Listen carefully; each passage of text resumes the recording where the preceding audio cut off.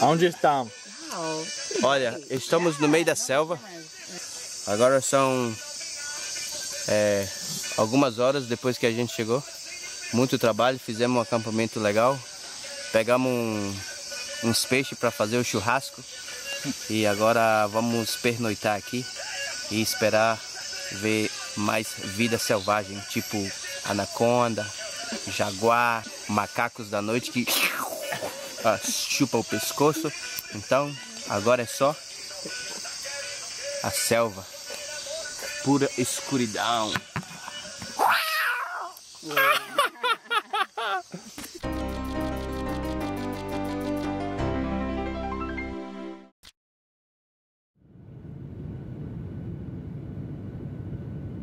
There are certain places on this planet that seem almost like fiction.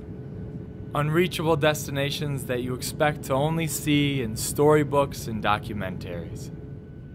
The Amazon rainforest in northern Brazil was one of those places for me. Like Machu Picchu and losing my virginity, at one point, they all seemed unattainable.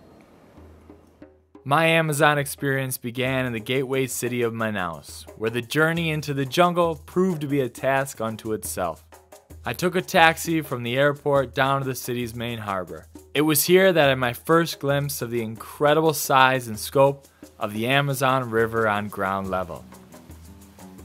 I crossed the river on a small shuttle boat, passing the point where the Rio Negro converges with the Amazon, which forms a really cool color and temperature divide in the water.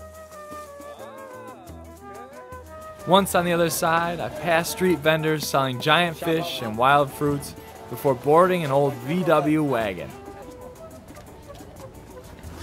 Got ourselves some s- snacks for the road. Past the small towns and giant lily pads, we drove further away from civilization before making one last transfer into a small motorboat in the middle of nowhere. Here we go. Into the Amazon we go. As we weaved through the flooded forest, the reality of this moment started to set in. After another half hour in the boat, the river opened up and I could see my final destination. The Ararinha Jungle Hotel would serve as a launching pad for all my rainforest activities. It's a small property carved into the tree line with multiple private lodges, a large mess hall, and abundance of visitors. After a quick look around, I dropped my bag off and returned to the water to meet up with my local guide. Kenrick, or Jungle Boy as he's known, was born and raised in the region and would be in charge of keeping me alive over the next week. And just like that, it was time to go explore the wild Amazon.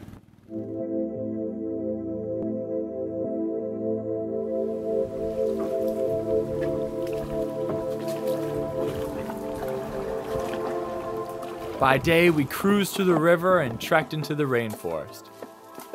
In the water, we looked out for exotic birds, hidden lizards, and even the rare pink dolphins. And on land, it was giant spiders, poison dart frogs, and all types of monkeys. While the rare anaconda and jaguar were always in the back of my mind, it was the smaller animals that you really had to be aware of. We're supposed to be very quiet right now.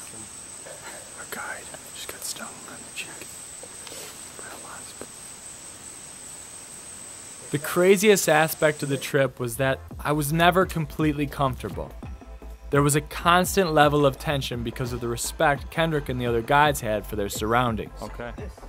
The whole thing was an incredible juxtaposition, as we would go catch piranhas in the shallow waters and then boat out to the middle of the river nearby to go swimming. It was a dangerous and beautiful place, and my senses were heightened at all times. Throughout the process, Kenrick and the other guides taught me some much needed skills and techniques for surviving in the jungle. From making weapons to building shelters to finding the best things to eat if you're hungry. There's a seed into this jelly, and eat the jelly. That, oh yeah. So it's an egg that turns into this larva, ah. which is rich in proteins.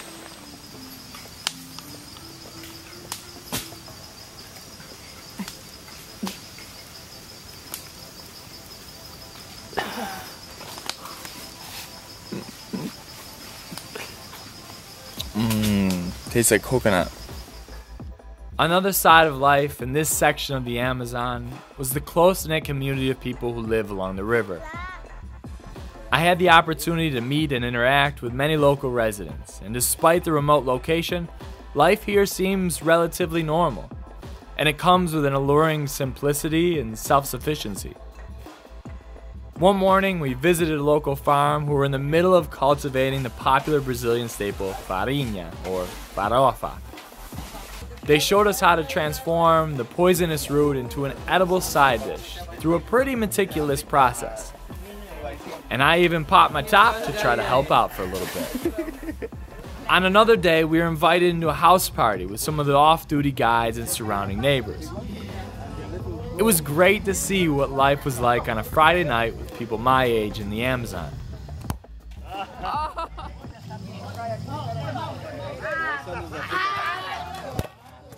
Go!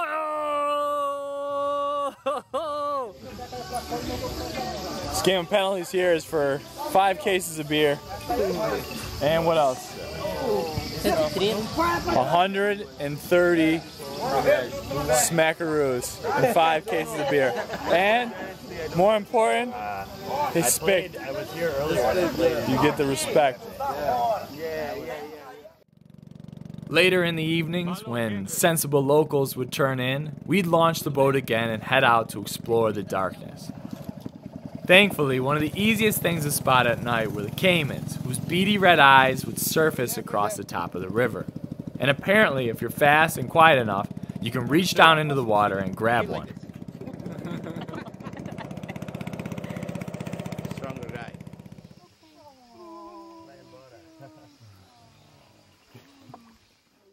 The days passed, and I grew more and more addicted to this life. So, on my final day in the Amazon, we decided to take a small crew out to get the full effect of the jungle by camping out. So it begins. We've arrived at our destination for our evening in the jungle. We found a flat, dry space not far from the river and worked quickly to set up camp before dark. We chopped trees for a tarp frame, cautiously gathered firewood, and began cooking dinner over the fire. Our campsite is set. We have mosquito nets, hammocks, blue tarp. The fire has been started. We're ready to have a night in the jungle.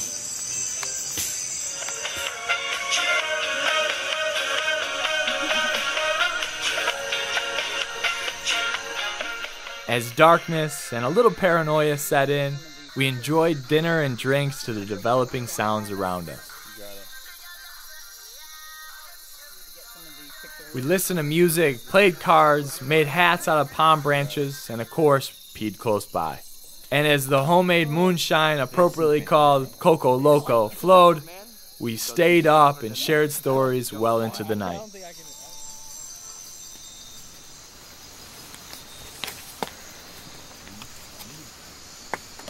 Made it through the night in the jungle. What's up, man? Bom, graças a Deus aqui é um acampamento muito bom. Não tem mosquito, muito ótimo.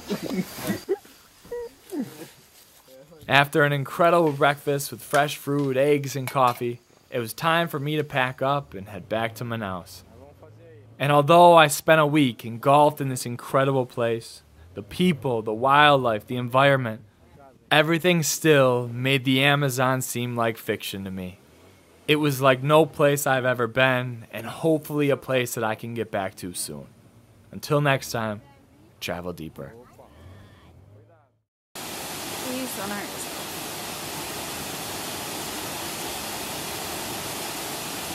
Oh god. Oh.